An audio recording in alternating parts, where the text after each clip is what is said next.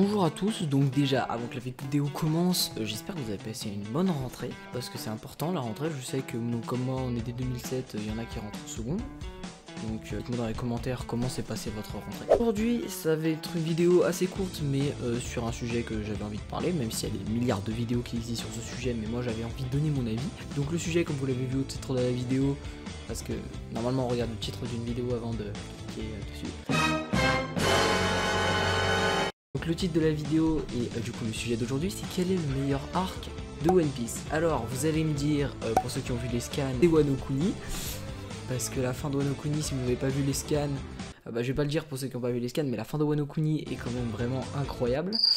Mais vraiment incroyable, mais, mais non pour moi en tout cas, euh, c'est mon avis sur le test, c'est-à-dire que c'est pas tout le monde qui a le même avis, c'est pas l'avis général, c'est moi, pour moi, quel est le meilleur arc One Piece. Ah, bah de toute façon vous avez vu à la miniature avec de quel arc je parle, je parle bien sûr de Marineford, parce que Marineford, tout simplement, c'est magique, c'est magique Marineford, euh, c'est...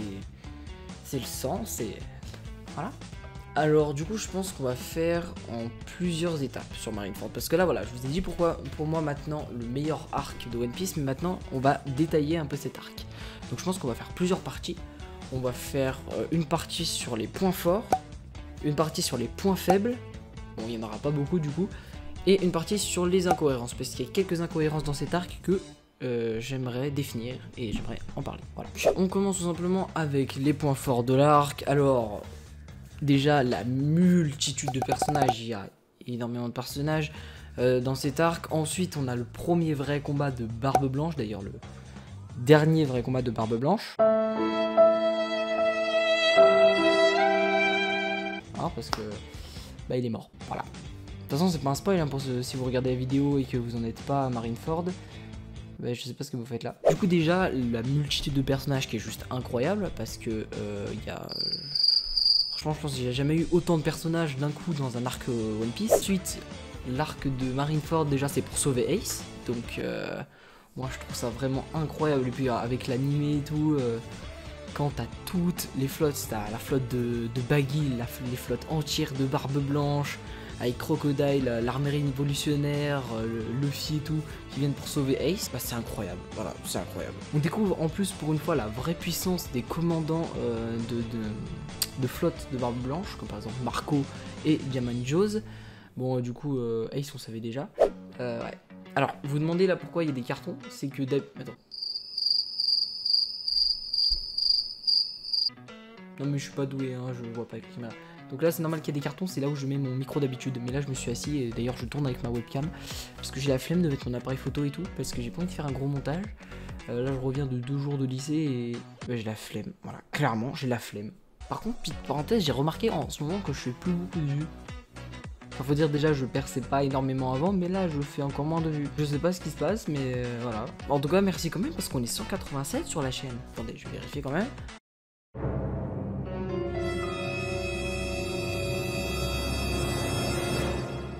Ouais, on est 187 sur la chaîne. D'ailleurs, je vous ai fait une vidéo là où je vous montrais un Rumder Park pour faire les miniatures. Et euh, une vidéo où euh, je vous montrais comment avoir des jeux PC gratuitement. Voilà, donc euh, ça c'est gratuit, je vous donne des, comme ça. Revenons à Marineford. Alors déjà, les détails, la puissance des persos et les animations sont juste incroyables.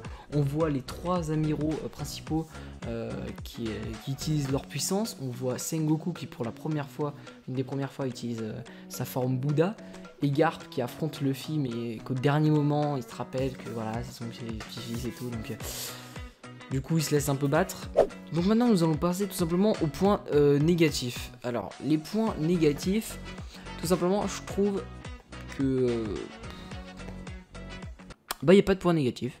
Ouais, bah, c'était un arc excellent, il n'y a pas de points négatifs, excusez-moi. Du coup, on a zappé les points négatifs, tout simplement, on va passer aux incohérences. Alors déjà, Barbe Blanche qui réunit toute sa flotte et tout pour aller sauver Ace. Ok.